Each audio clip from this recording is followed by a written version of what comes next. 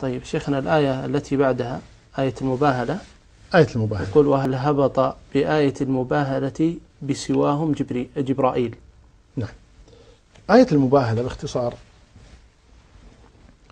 آه، يقول ربنا تبارك وتعالى فمن حاجك فيه من بعد ما جاءك من العلم فقل تعالوا ندعو أبناءنا وأبناءكم ونساءنا ونساءكم وأنفسنا وأنفسكم ثم نبتهل فنجعل لعنة الله على الكاذبين. قصة المباهلة باختصار حتى يكون معنا إخواننا وأخواتنا المشاهدون.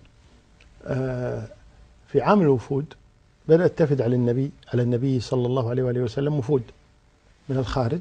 بعضهم يسلم وبعضهم لا. يأتي فقط يعمل معاهدات وبعضهم يأتي يسمع من النبي صلى الله عليه وسلم. إذن هم ثلاثة. مجموعة تأتي وتسلم وتعلن متابعتها للنبي صلى الله عليه وسلم. مجموعة تأتي آه، تعمل معاهدات مع النبي وتظل على دينها. وبعضها تأتي تناقش وتسأل وتستفسر جميل. من النبي صلى الله عليه وسلم. من ضمن الذين جاءوا وفد من نجران. وكانوا نصارى.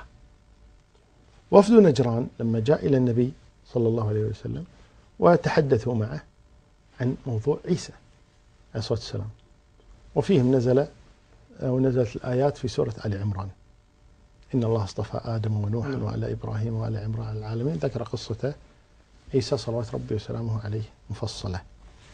آه لم يقبلوا. قالوا لا نقبل هذا الكلام لأن عيسى عندهم ثالوث ابن الله.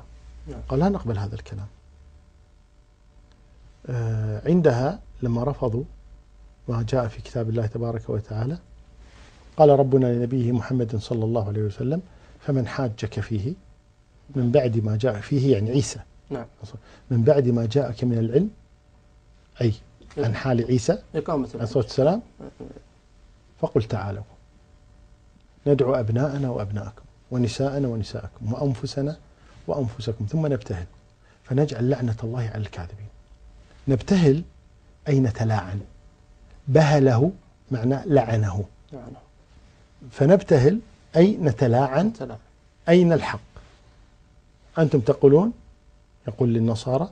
أنتم تقولون إن عيسى ابن الله. وأنا أقول عيسى عبد الرسول. صلاة ربي وسلامه عليه. نعم. لم تقبلوا قولي ولا أقبل قولكم. تقاطعنا. نتلاعن في هذه القضية. نعم. فقالوا نعم نتلاعن. فخرج النبي وخرجوا ورجعوا إلى أماكنهم على أن يأتوا من الغد للتعاون نعم. فجاء النبي صلوات ربي وسلامه من الغد وأتى معه علي وفاطمة والحسن والحسين. وقال هؤلاء أهلي. وجاء بهم صلوات ربي وسلامه عليه. فلما رأى النصارى أن النبي جاد وأنه فعلا يريد أن يلاعنهم خافوا. الله. لماذا خافوا؟ لأنهم يعلمون علم اليقين أنه نبي. كما قال ربنا تبارك وتعالى الذين آتيناهم الكتاب يعرفونه كما يعرف. كما يعرفون أبناءهم. هم يعرفون أنه نبي فإنهم لا يكذبونك ولكن الظالمين بآيات الله يجحدون. فلما رأوا الجدة من النبي صلى الله عليه وسلم جاءهم العاقب وهو شيخهم قال والله إن كان نبيا وباهلتموه والله لتهلكون جميعا. ما فيها ترى. قالوا فماذا ترى؟ قال أرى أن نصالح الرجل. لا نباهله. لأنه يعلم أنه نبي. وأخبر قومه قال هو نبي. اتبعوه. قالوا لقد كبرت. يقوم تتخرف. فامتنع.